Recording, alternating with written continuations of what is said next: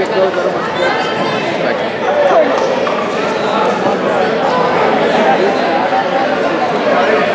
go three.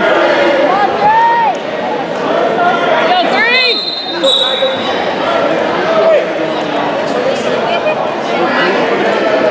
Buddy.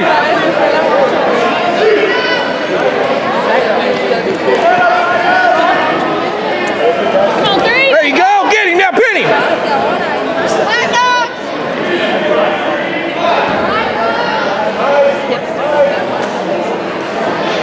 Come on, three. Yeah. He's got to learn some moves, man. He just yeah, teach him some moves. All he's doing is just throwing people. Good job, buddy.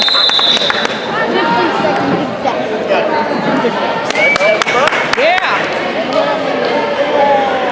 Way funner that way. Yeah. If you ever wrestle somebody strong as he is, he's in trouble.